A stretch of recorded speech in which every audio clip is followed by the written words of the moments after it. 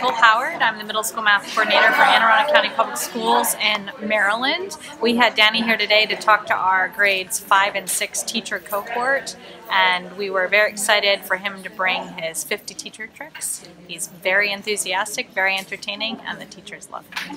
Uh, schools need to partner with parents and so he has some amazing resources for parents, so check out his stuff online.